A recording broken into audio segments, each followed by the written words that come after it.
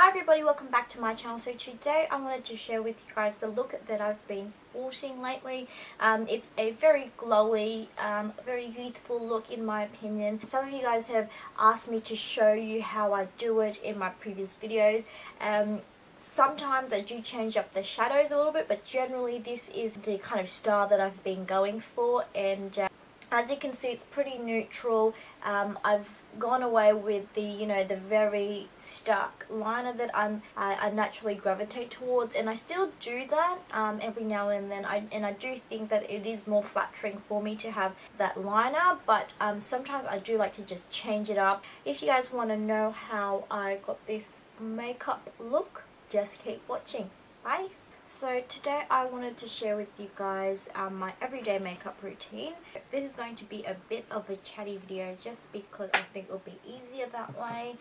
Um, so let's just get on with it. I have my cup of coffee here prepared by my wonderful brother. Let's get on with it. So first like I mentioned in my um, favorites video, the first thing you want to do is obviously protect your skin from the sun.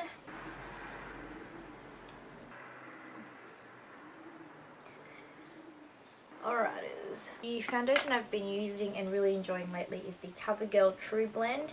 Um, you've probably seen me use this in my previous Getting Ready With Me and I have it in num M4 Sand Beige. I like to put it on the palette just to make it easy to use and then just apply it with your favorite foundation brush. Today I'm using the Real Techniques um, and I believe this is the buffing brush. And I just pat it on Next I go in with a corrector. I've been using the NYX Dark Circle Concealer and this is in number 3 medium. And I'm actually nearly out. Just apply it with your favourite concealer brush. I'm just using this Sedona Lace 217 and this is my preferred brush for applying concealer actually and I just pat it down like this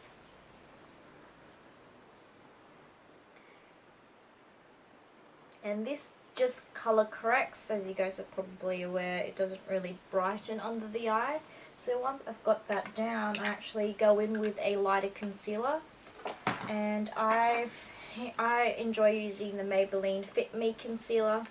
That's what it looks like. And I just pop it under there. And sometimes I do just put a little bit the cheeks as well and down the bridge of my nose and around my nose. Sometimes I do this, sometimes I don't. It really depends on how I feel. But today I thought I'd do it just for extra brightness. And then I always just dab. Just because doing like a stippling motion will stop it from looking too streaky. And there you go. I just blend it all out again with my foundation brush. I'm using this Becca Beach Tint. I will apply it on now before setting my face. But today I think I'll just use a powder blush. So what I will do is set my face now. I'm just using the Rimmel Stay Matte Translucent Powder and just applying it with a big fluffy brush. This is the Sedona Lace 376.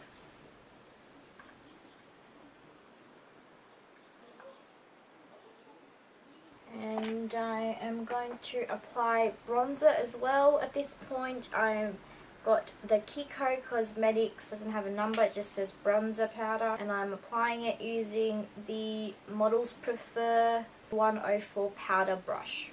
So it's just a big fluffy brush essentially. And I use this just to um kind of bronze my face up rather than contour. So, you know, I do contour it a little bit by applying it under the cheekbones first. But then I do go around and just warm my face up with it. So for brows I use my e.l.f. cream eyeliner and it's just a pretty um, ashy brown colour. And I just apply that with my Sedona Lace 561.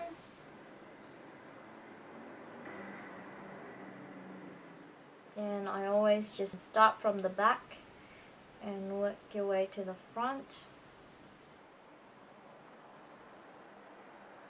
and with what's left over I just um, shade the front. So today I'm going to share with you my everyday kind of eye look. Apply a primer. I'm using the Solid Rose Professional Cosmetics Primer. This is quite old. I got it a few years ago and um, I'm not telling anyone to run out and get it but just use what you have. If you have Urban Decay, use that. Um, I'm just trying to use up what I have at the moment. So I'm not recommending this to anyone or suggesting you guys go out and get it because there are better brands out there. And I just apply it all over the lid. Let me just have a bit of my coffee. Next I will be applying my shadows. So um, for every day I mostly use my Coastal Scents um, palette that I've created. Some of these are Coastal Scents, some of these are Jordana. It is just a mix of shadows that um, I've popped into a palette. First I'm going to apply this um, medium brown colour. This is this is Coastal Scents Persian Peach. That's what it looks like. I just applied this with a fluffy brush basically um, in the crease as a transition colour just to make blending easier later on and then I go in with this um, one of the shades by Jordana. It's one of their um, brow colours and it's in light brown.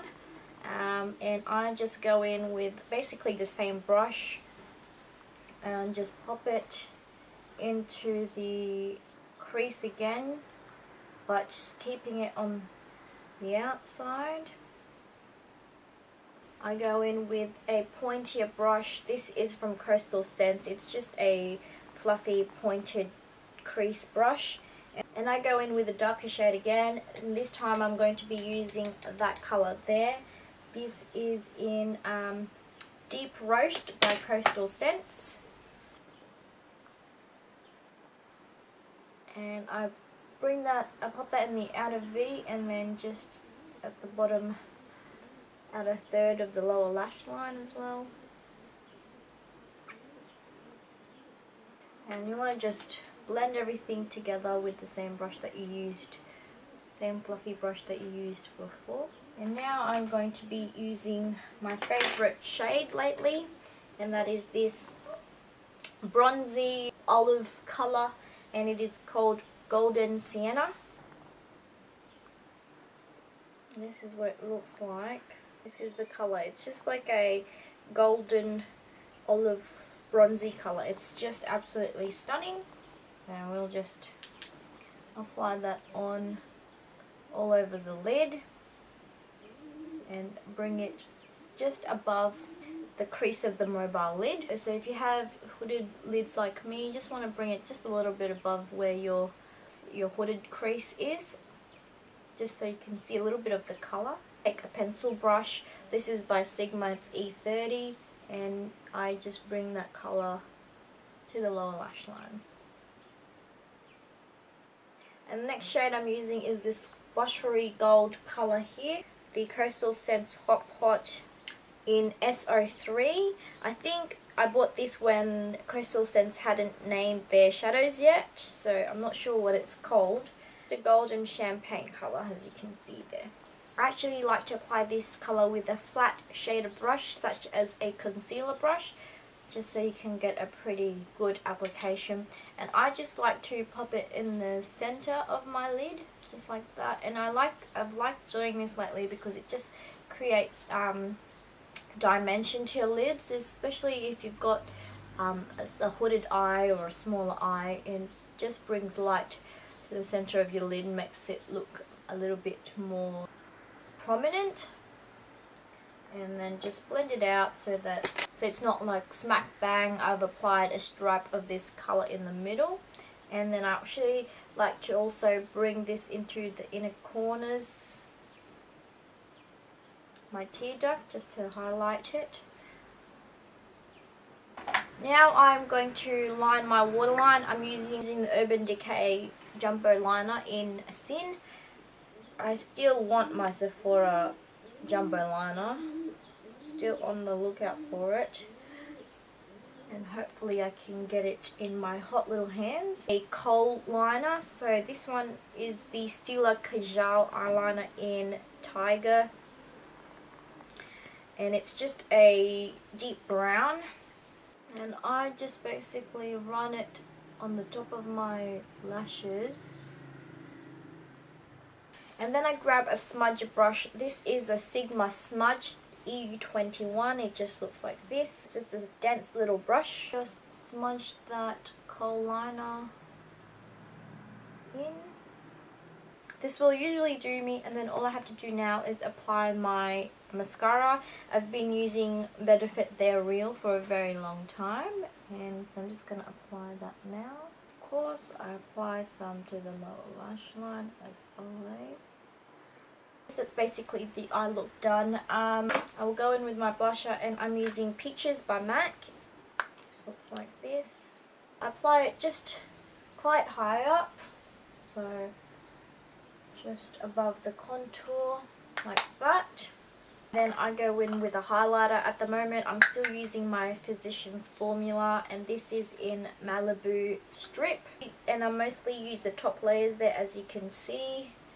And I just go in with a fan brush and apply it like that. And I go very heavy with the highlighter because I love me some glow. And for the most part, I very rarely put on lip colour because it's my everyday look but I do mostly use nude colours for this look. Either I will go in with my NYX Soft Matte Lip Cream in London and I'll show you what this looks like.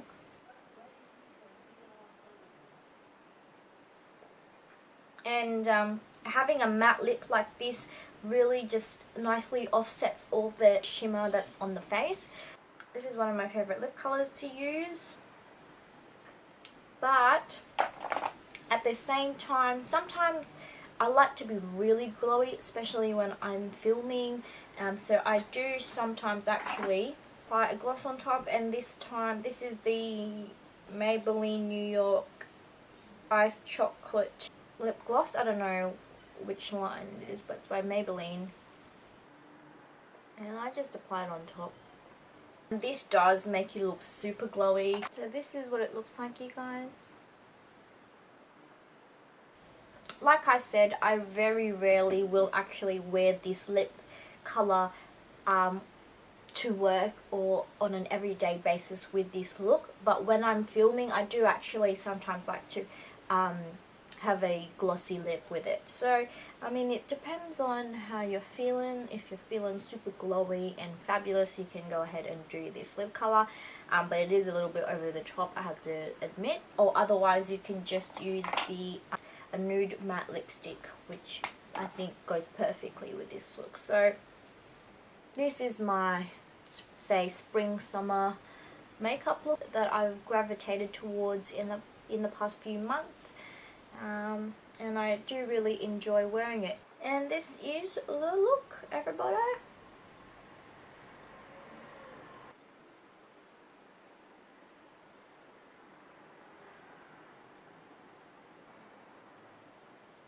So hopefully you guys enjoyed this video. I really just wanted to thank everyone for their wonderful feedback on my lookbook. That did take a little bit of effort to film unfortunately and my editing skills are shot. Um, but I will do my best to continue making you know fashion videos for you guys um, I apologize that um, you know my uni study tips has not really come to life um, as of yet. Obviously I do want to have a think about it. I don't want to just say generic things though sometimes that is all I can say. Um, but you know if you guys have any specific questions that you want me to address in my next you know study uni tips video please include them down below and I will get to filming that for you guys as soon as I can um, I also do want to film my Louis Vuitton video right after this, so you may or may not see my Louis Vuitton collection first. I have actually already filmed that like three times, but ugh, for some reason this stupid camera of mine will not focus on me and will just continue focusing on the background, which is a little bit ridiculous, okay?